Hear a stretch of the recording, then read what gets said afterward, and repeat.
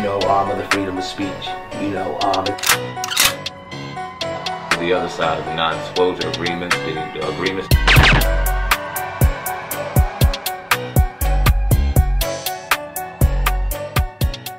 Oh, it's your man Sam, and here at Viral Hip Hop News.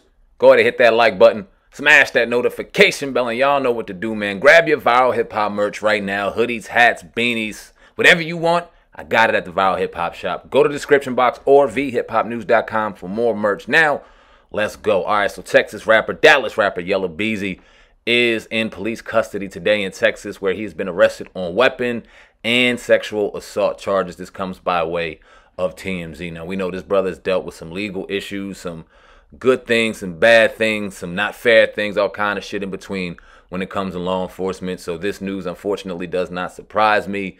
The details though may be surprising to some. Now the rapper was busted Friday in Collin County where he is currently in jail. A law enforcement source tells TMZ that Beezy is behind bars after being booked on three different charges felony sexual assault, felony abandoned, endangered child, and misdemeanor unlawful carrying of a weapon. Now, Yella Beezy, like I just alluded to, is no stranger to getting tr- in trouble, in particular in his home state of Texas. This marks his third arrest in Texas this year alone. Now, TMZ talked about a story that broke back in August when Yella Beezy was arrested on weapons and drug charges, and police say he was in possession of over 40 grams of a controlled sus- substance, had 40 rifles and four handguns. Then he came out and said it was all complete nonsense.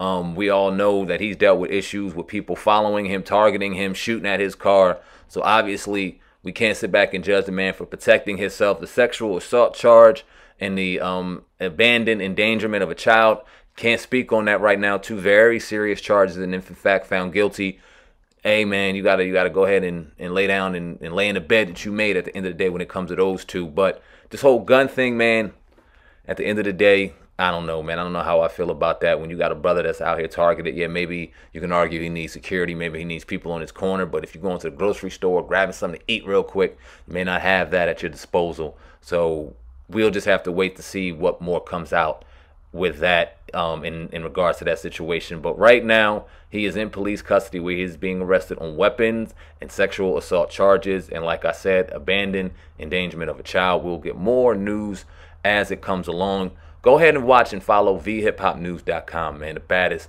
hip hop website out here right now. We just getting it started a couple months back, and we are on fire, and we will continue to burn and blaze this shit down until we are at the number one spot, man. So go to vhiphopnews.com for more information on this story and much more. Definitely appreciate each and every one of y'all, Sam and CEO of Viral Hip Hop News. Till next time, I'm out of here. Peace. Oh, God driving Sam and riding passenger side. And you heard it out the mouth of the greatest rapper alive. Hip hop uncensored is the vibe, so subscribe. Hip hop uncensored is the vibe, so subscribe. Oh God driving Sam and riding passenger side. And you heard it out the mouth of the greatest rapper alive. Go gang.